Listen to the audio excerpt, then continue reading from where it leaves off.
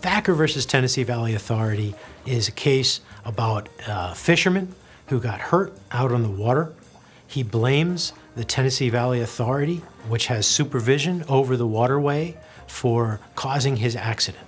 The Tennessee Valley Authority was replacing some conductor power lines that stretch over and across the river. One of those lines fell into the water. That obviously creates a hazard for boaters. The TVA knew that. They contact the Coast Guard, which is their emergency protocol.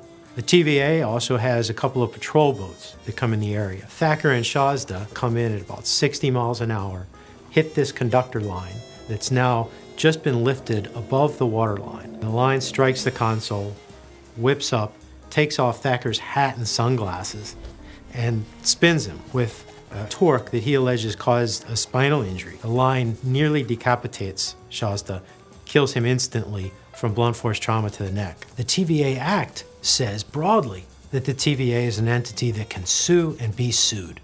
Thacker wants to engage that interpretation be sued. It means be sued. The TVA says no. In fact, that we have discretionary function immunity against lawsuit liability, and that's where we get into the issues that lead us to the United States Supreme Court.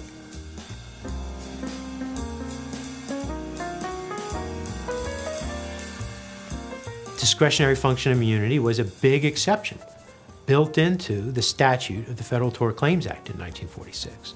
Discretionary function immunity says, more or less, that the government has to be able to have the latitude to be able to make a choice between different viable options.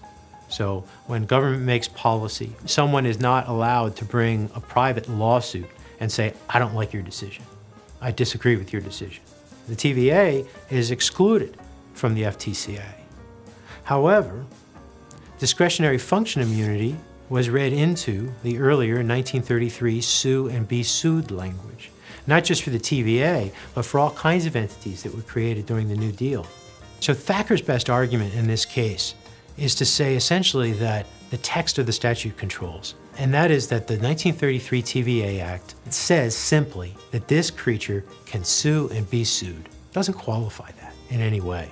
And then you come to the FTCA in 1946, and that statute on its text says the TVA is excluded from this statute. So Thacker says this is a straight up, simple question of statutory interpretation. The broad immunity of discretionary function under the FTCA was never given to entities like the TVA. And so I should be allowed to go forward with my lawsuit. Now, advocates on Thacker's side would say that the use of discretionary function immunity insulates the TVA from liability, for responsibility for its decisions. I mean, Thacker says, look, if something is mundane, if something is ordinary, on the ground, nuts and bolts, as how do we get this wire out of the water and back into the air, if that can be discretionary policy making at the highest level, how do we hold an entity like the TVA accountability? Now, the TVA says, no, no, no. We have all kinds of accountability.